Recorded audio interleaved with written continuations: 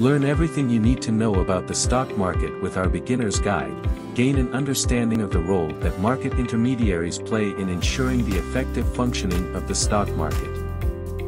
In a market, customers and sellers come together to trade items like fish and vegetables.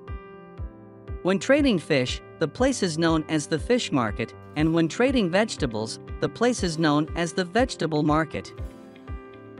Markets might be real world or digital, such as those on Amazon and Flipkart. The term share market or stock market refers to trading financial instruments like shares. There are various market intermediaries who participate in the stock market, and in this video, we will show how they are supporting Rahul in his foray into the stock market. After realizing the important role investments can play in the life of a person, Rahul is now ready to invest in the stock market. The questions he needs to answer first are how to approach share market and how the process of buying and selling of shares works.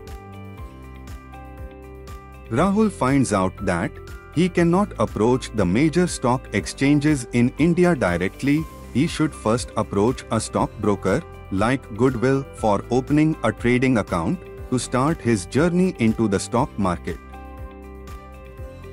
Who is a stockbroker? A stockbroker is a market intermediary who is responsible for placing the buy and sell order in the market on behalf of the client. A broker is identifiable by a unique ID called member ID provided by the stock exchanges.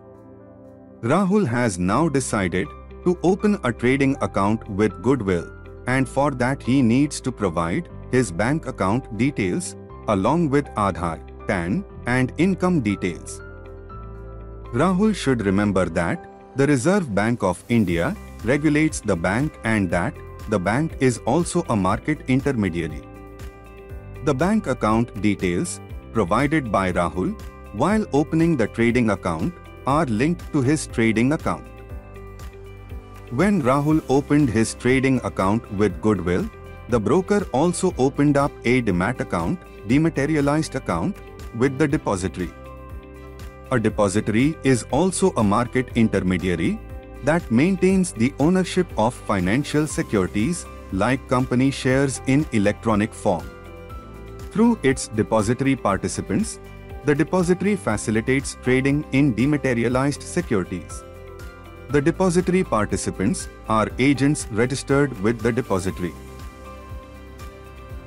There are two major depositories in India, namely the CDSL, Central Depository Services Limited and the NSDL, National Securities Depository Limited.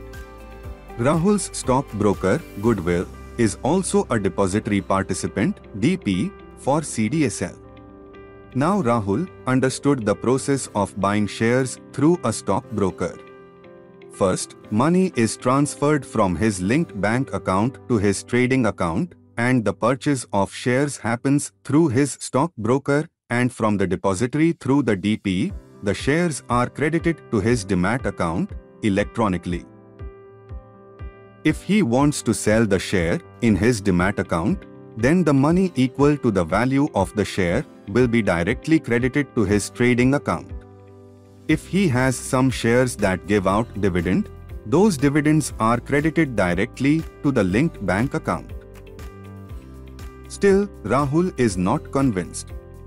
He has one more doubt. What if the trades do not go through? Who guarantees his payments?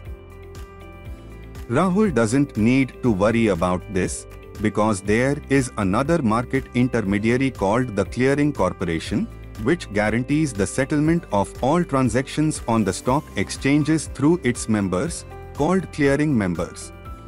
The Clearing Corporation acts as the central counterparty for all trades carried out on the stock exchanges. Finally, the Securities and Exchange Board of India, or SEBI, regulates the Indian stock market. SEBI is responsible for drafting and enforcing all regulations. It regulates all market participants, including stock brokers, exchanges, depository, clearing corporation, and protects the interests of stock market investors.